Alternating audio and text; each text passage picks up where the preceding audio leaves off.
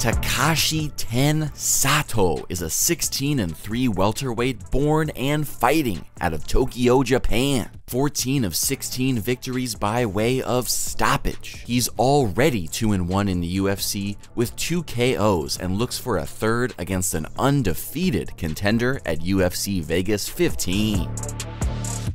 Winding back the clock to 2013, Sato with one pro victory under his belt, no defeats. He's facing 1 and 0 Joe Proctor, not the UFC's Joe Proctor, but strikingly similar in looks. He's the owner of a 37 second armbar in his only pro bout.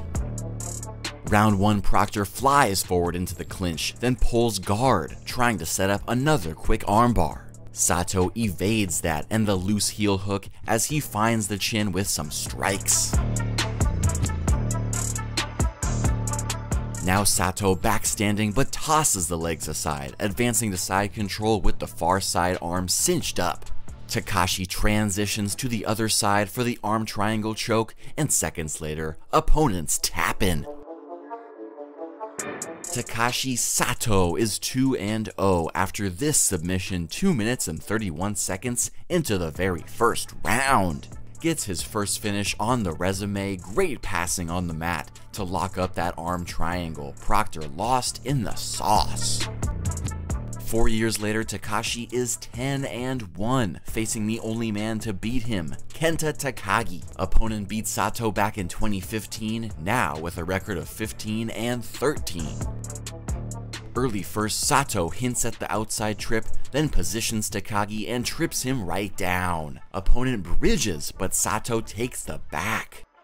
Takashi threatening from the 50-50 grip, outside trip again down to side control. Seconds later, Sato starching his opponent with ground and pound, makes Takagi give up his back.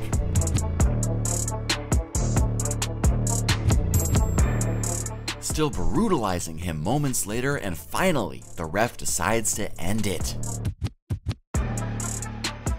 Takashi Sato gets revenge with a TKO due to ground strikes. 3 minutes and 57 seconds into round 1, avenges the only loss on his record in emphatic fashion.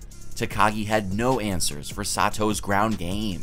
Sato's next fight is his third and final of 2017, facing former Pancrase champion Akihiro Murayama, fighting ever since 2003 now with a record of 19, 7, and 9. 9 draws. This man's got some rounds in the cage to his name.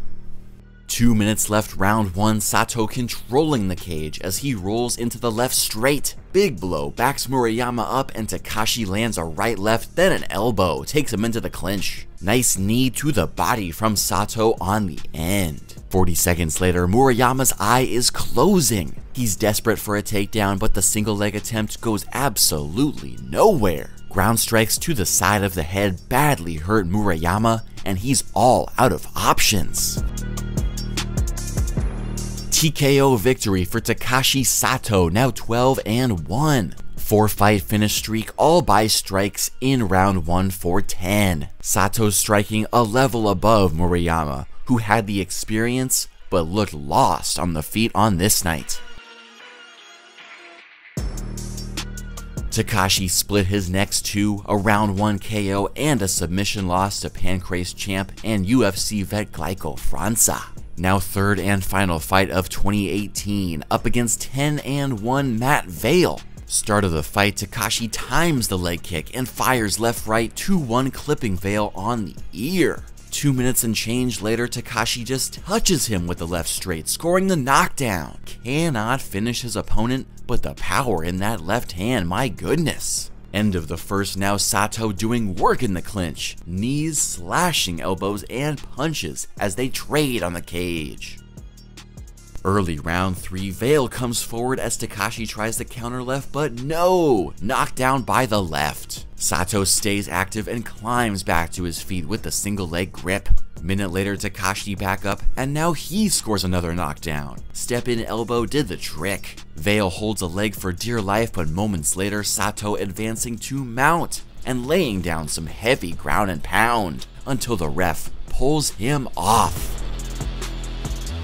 phenomenal fight from Matt Vaile and Takashi Sato. Back and forth action, multiple knockdowns, but emerging out of the second round was Sato with his hand raised. This victory scored him a UFC contract where he is now 2 and 1 with two vicious finishes. Ten returns to the cage to face Caramel Thunder 9-0 Miguel Baeza at UFC Vegas 15.